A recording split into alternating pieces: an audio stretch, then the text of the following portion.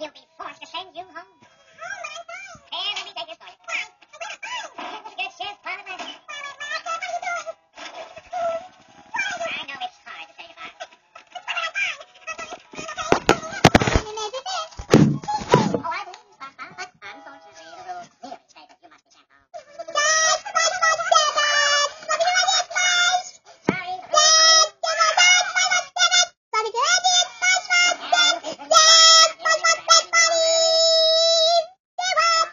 成不用担。谢谢大家。